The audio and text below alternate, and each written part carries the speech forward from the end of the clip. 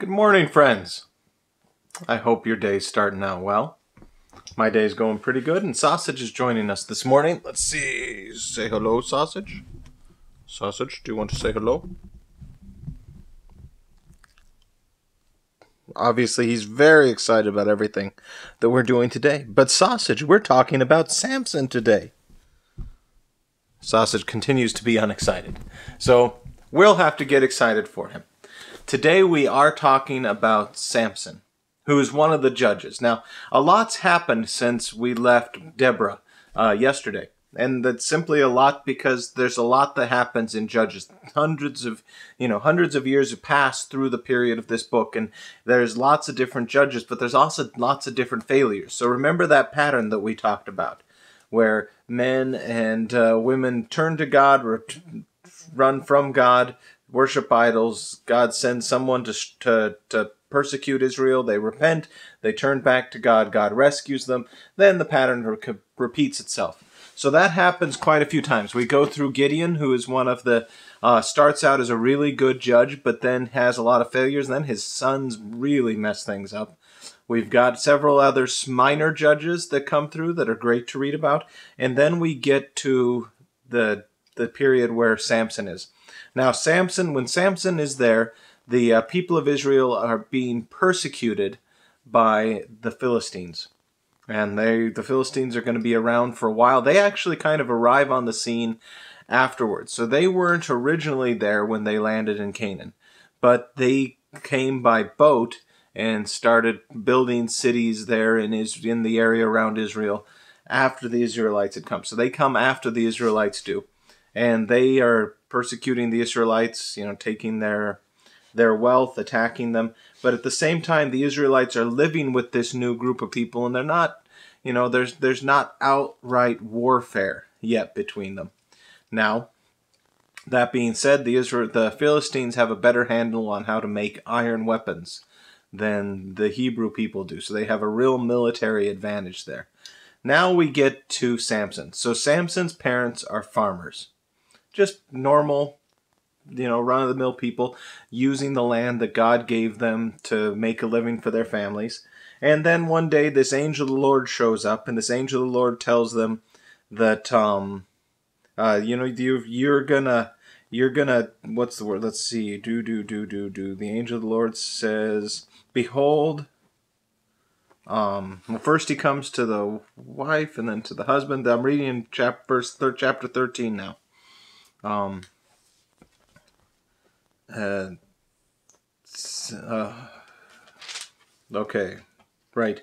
There was a certain man of Zorah, of the tribe of the Danites, whose name was Manoah, and his wife was barren and had no children. And the angel of the Lord appeared to the woman and said to her, Behold, you are barren and have not borne children, but you shall conceive and bear a son. Therefore, be careful. this is crucial for our understanding of Samson's narrative. Therefore be careful and drink no wine or strong drink, and eat nothing unclean. For behold, you shall conceive and bear a son. No razor shall come upon his head, for the child shall be a Nazarite to God from the womb, and he shall begin to save Israel from the hand of the Philistines. So now, uh, that's the background for Samson. Now, Samson is born. He grows up to be a man of incredible strength. Um, and he is called to be a Nazarite. His parents treat him as a Nazarite. That means that his hair isn't cut. Probably drew some pretty amazing dreads. If you uh, think about how it was, either it was very tightly braided or it was dreaded. Um, or and he's not supposed to drink wine. He's not supposed to anything touch anything unclean, and that includes dead things. Now, here's the thing about all of this: these Nazarite rules and customs are supposed to set a person apart so that they act in a holy way. And Samson's whole story is one where God gives him great strength, but he acts in a way that's very unholy over and over again. He breaks his Nazarite vows. He frequently uh, goes out and finds um, wives and prostitutes that aren't. Uh, you know, it's a failure in every way. Um, so the, his character does not reflect the vows that he does not keep. Uh, his character reflects, I guess, the vows that he does not keep, and that he doesn't. His character is not good, and neither are the vows. But still, the Lord gives him strength to make him a judge. Uh, now, with that great strength, if he had kept his character clean, we don't know what would have come of that if he had been pure of heart as well of great strength. Um, the story would have ended differently, perhaps. But his story is a tragedy, right? So Samson, in the chapter 14, we get to these puns and these parables that Samson tells. He makes the poems here. And the story is that he falls in love with a Philistine woman. Now, the text tells us, the, the, the narrator tells us that this is of God because God's going to use this to punish the Philistines. And so he falls in love with this Philistine woman and he goes out to see her. Um, and he's visiting with her and he has to travel back and forth.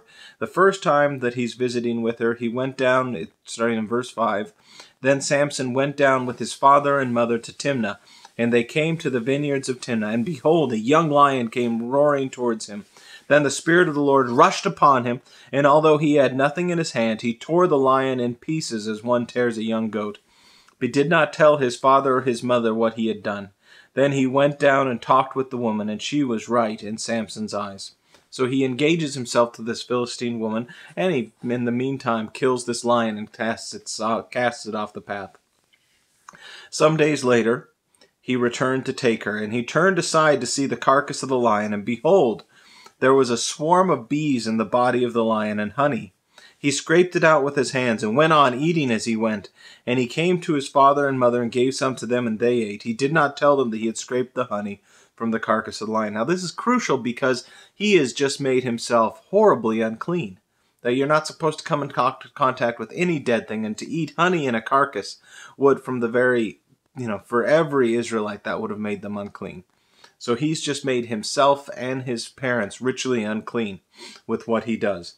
Then he goes on, and they go down to get his uh, to get his bride. His father went down to the woman, and Samson prepared a feast there, as so for the young men as the young men used to do. As soon as the people saw him, they brought thirty companions to be with him. And Samson said to them, Now let me now put a riddle to you. If you can tell me what it is within seven days of the feast, and find it out, then I will give you thirty linen garments and thirty changes of clothes. But if you cannot tell me what it is, then you shall give me thirty linen garments and thirty changes of clothes.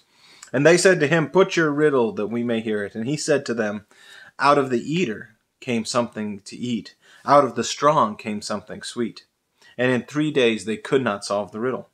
On the fourth day they said to Samson's wife, Entice your husband to tell us what the riddle is, lest we burn you and your father's house with fire. Have you invited us here to impoverish us? And Samson's wife wept over him and said, You only hate me, you do not love me. You have put a riddle to my people, and you have not told me what it is. Oh, you're so mean to me, Samson. And he said to her, Behold, I have not told my father nor my mother, and shall I tell you? She wept before him the seven days she the, of the feast. And on the seventh day he told her because she pressed him hard. Then she told the riddle to her people, and the men of the city said to him on the seventh day before the sun went down, What is sweeter than honey? What is stronger than a lion? And he said to them, If you had not plowed with my heifer, you would not have found out my riddle. So these these puns are these poetic puns uh, bring play to a very dark situation, as Samson realizes that if if not in deed, in word, his wife has been unfaithful to him. And he realizes as well that these, these Philistines are cheating.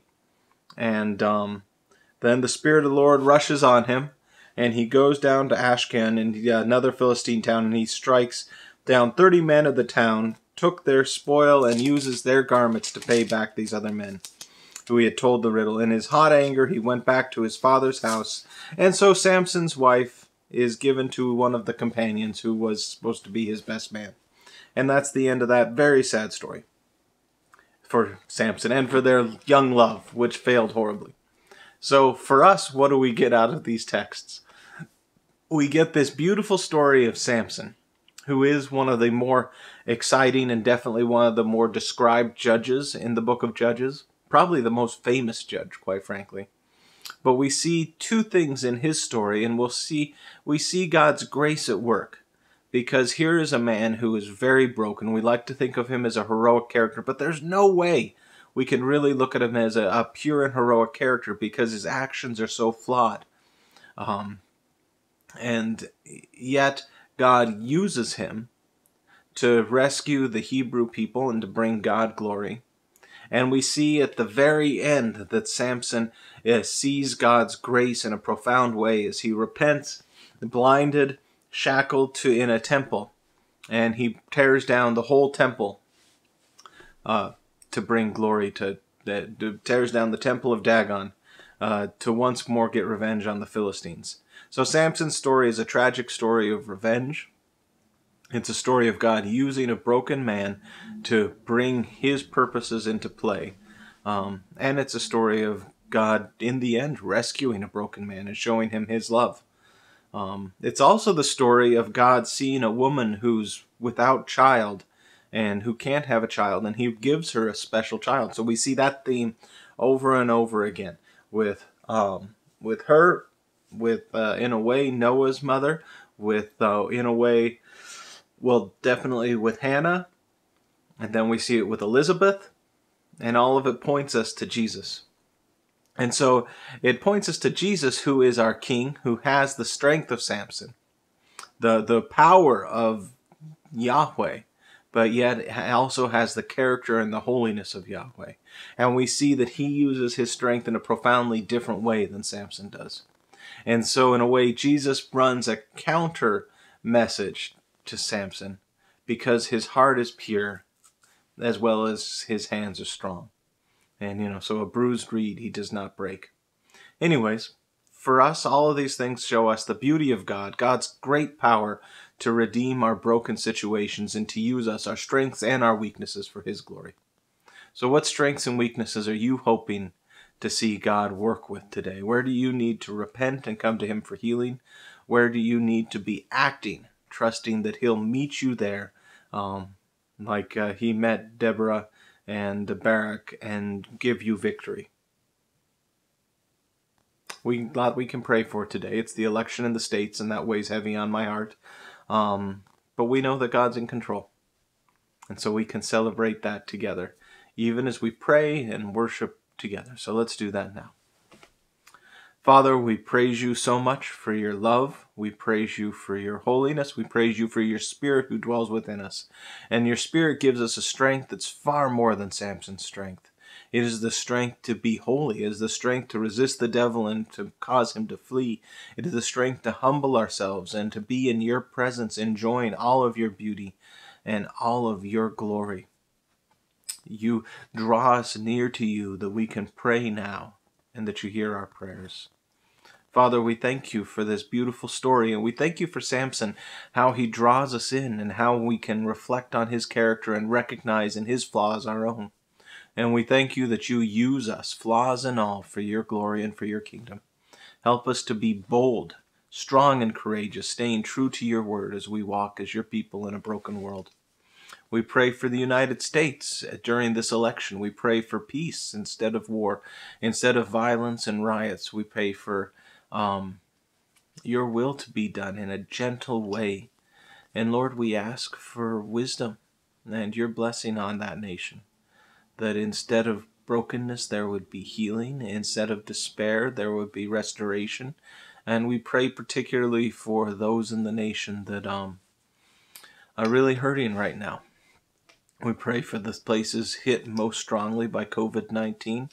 We pray for those um, persons who are caught up in the QAnon cult. We pray, Father, for a healing and a restoration, for a, a truth to burn brighter than the lies of the world. And Father, we pray for Canada that you would give us peace. And we do pray for Alberta as they continue to struggle with uh, really getting things under control and for Quebec um, with COVID. And we do pray, Father, for the world itself, around the world, as COVID continues to ravage nation after nation. Um, we pray for your restoration, and we pray, Father, for a um, vaccine to come soon. And we pray, Father, for leaders to have wisdom and grace. We pray, Lord, for our community here, for the children that are under great stress. We think and we know that uh, high schoolers, I was speaking with a high school teacher and a high school psych, and they were just saying how difficult things are for for all of the students this year, how stressful and how confusing they are. And Lord, we pray for your shield of protection to be over them. We pray for your grace and your love and your delight in them to surround them. We pray that in this broken season that the gospel would be speaking into their hearts in a profound and wonderful way. And that for the high schoolers that we know and love, that you would give us words um, and actions that show them how much we love them and care for them. Lord, we pray for those that are waiting for surgery that they would get in. We pray for those that are mourning loved ones who have passed that you would be their comfort. We pray, Father, for our broken um,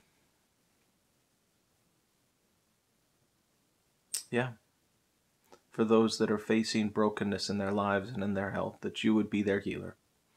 And Lord, we thank you that you love us. Give us peace, Lord. Peace is your people in a broken age. Peace that comes from knowing that you are on the throne. And peace that gives us the words to say and the means to say them well. That others may see and know the beauty of the Lamb that was slain, who sits on the throne, the King of kings the Lord of lords, Christ our great, precious Redeemer. May we lean into you, Lord, as we walk this day this broken and um, uh, in this broken and very confused age. In Jesus' name we pray. Amen. Well, friends, thank you for joining me. I hope you're enjoying the book of Judges. Uh, if you've got any questions or suggestions or thoughts or prayer requests, feel free to put them in the comments. God bless you all. Bye bye.